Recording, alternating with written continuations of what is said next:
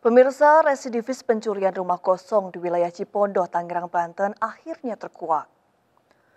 Lewat rekaman CCTV, tim reskrim Polsek Cipondoh menangkap pelaku yang sudah empat kali membobol rumah kosong dengan alasan terhimpit kebutuhan ekonomi. Detik-detik pengungkapan residivis pencurian rumah kosong tersebut tersaji dalam gerbek on location. Antisipasi pencurian rumah kosong tidak hanya menjadi tugas polisi, untuk kasus pencurian rumah kosong ini sebetulnya sudah sering terjadi di wilayah. TV-nya ini, TV-nya ini. TV kreatifnya, terus sini juga. Ke mana? Mana kreatifnya? Pernah dihukum kamu sebelumnya?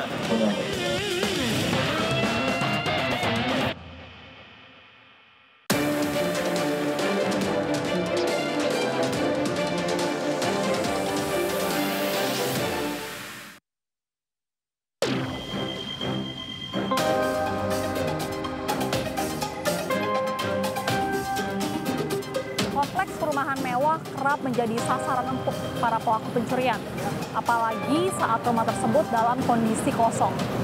Seperti kasus pencurian rumah kosong di bilangan Cipondoh, Tangerang, Banten. Menyandang status residivis, rupanya tak membuat pelakunya jerah.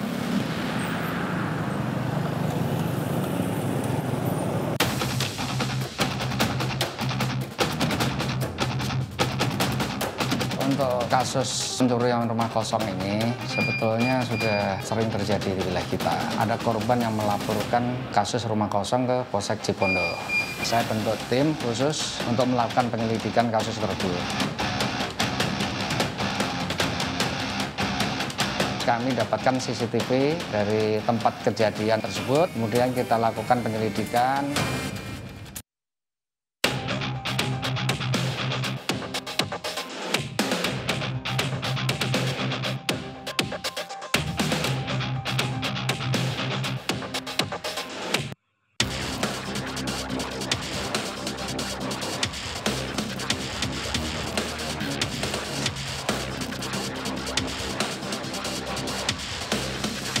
pada saat itu pelaku e, berada di wilayah Cipondoh Makmur. Sebetulnya tempat tinggalnya dia ada di wilayah e, Polres Pelawat. Namun demikian karena kita dapat informasi dari masyarakat bahwa yang bersangkutan ada di Cipondoh Makmur, kemudian tim bergeser dari rumah tempat tinggalnya kita bergeser ke arah Cipondoh.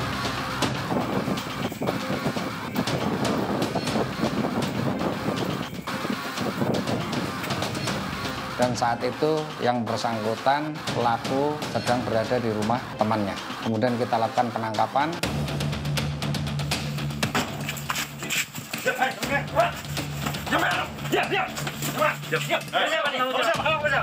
Kamu oh, ini berarti yang dia kita ya. Ya. Eh, tiarap kamu, tiarap, tiarap. Kemarin kemarin melakukan apa? Kemarin. Kelihatan kok. Hah? Apa? Jujur, Pak. Apa? Ke siapa? Ke siapa? Ke siapa? Ke bapak ini. Lihat, lihat mukanya, lihat mukanya. Bapak, bapak ini kan. Bapak ini bukan, lihat mukanya. Ini TV-nya ya. Iya, Pak. TV-nya ini, TV-nya ini. Jual ke sini berapa kali? Dua kali. Dua kali. TV-nya, TV-nya. TV mana lagi? TV mana lagi? Belum nggak tahu kok. TV ini udah lama sih kok. Yang mana? Kayak apa? Kayak apa TV-nya? Sebutin. Sebutin. Kayak gini juga. Yang gini enggak? TV-nya. Enggak, Pak. Yang di mana? Lampu kayak gini. Iya, Pak. Lampu. Lampu yang mana tabungnya? Lupa. Kapan? Kapan ada ya? Lu lama yang mana? Berapa lama yang mana? Enggak ada, Pak. Ini, Pak. Oh berarti yang di sana. Enggak, di sini enggak? Di sini, kamu jual di sini. Kapan? Kapan itu? Oh, Kapan itu? yang sebelum ketangkap kemarin itu, Pak. Kapan sebulan? Oh, udah tahunan. Berapa kali? Aja ya. Udah berapa kali? Oh, itu itu kita sebelum ditangkap yang ini kamu Iya. Oh, berarti tahun 2017. Ke sini juga. Iya, Pak. Oh, udah. Kreatifnya, Kreatifnya, jual sini juga. Ke mana? mana kreatifnya? Apa-apa? Sempat nawarin nggak? Nggak. Dia selalu melakukan sendiri. Kemarin yang terjadi terakhir di kita ini yang kita lakukan penangkapan, dia juga terekam di CCTV belum masuk, kemudian keluar sendiri dari rumah itu juga sendiri. Sehat hari ini? Sehat. Sehat. Kamu tahu diperiksa dalam hal apa? Kriminal. Kriminal. Kamu melakukannya sama siapa? Sendiri. Sendiri? Nggak berdua? Nggak. Naik apa kamu bawa itu? Jalan kaki. Jalan kaki. Ke mana? Ke lokasi. Ya, dari lokasi kamu angkut barang-barang semuanya. Iya Pak. Terus bawa kaki. bawa sendiri. Naik apa? Masa bawa TV sama salon kuat? Apa pakai gerobak? Apa apa alat bantu nggak ada? Pak. Lalu kamu apakan barang tersebut? Saya jual. Berapa harganya TV? 700. Calon aktif? 400. Jual ke mana? Kampung Gunung. Kamu Gunung, nggak kenal orangnya. Calon aktif sama juga? Iya Pak. Nggak kenal juga? Untuk pelaku memang residivis, dia sudah berulang kali uh, melakukan uh, pencurian rumah kosong. Diakui semua itu sudah sering melakukan. Sudah berapa kali kamu melakukan kegiatan yang sama? Empat kali. Empat kali. Di dalam rumah terus? Iya. Siang hari semuanya, apa ada malam hari? Iya. Siang. Dengan cara yang sama. Iya. Bagaimana? Empat umum. Tempat, ah? Empat umum. Tempat umum. Yang dicongkel baru ini. Ada orang nggak di dalam pada saat kamu masuk? Enggak ada Pak. Nggak ada. Motifnya memang karena kebutuhan ekonomi, kemudian dia melakukan hal tersebut. Pernah dihukum kamu sebelumnya? Pernah. Pernah berapa tahun? Satu tahun sama. Satu tahun. Kasus apa? Senjata. Senjata api. Bukan kasus yang sama bukan ya?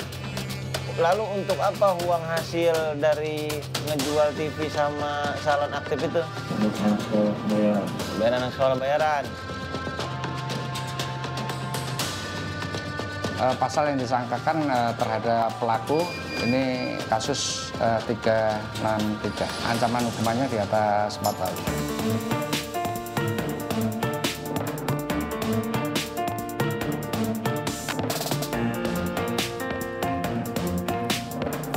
Antisipasi pencurian rumah kosong tidak hanya menjadi tugas polisi yang melakukan observasi maupun patroli.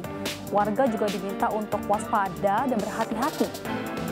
Tak ada salahnya memasang kamera pengintai ataupun CCTV dan yang paling penting adalah lakukan komunikasi secara intensif dengan warga lingkungan Anda saat pergi meninggalkan rumah.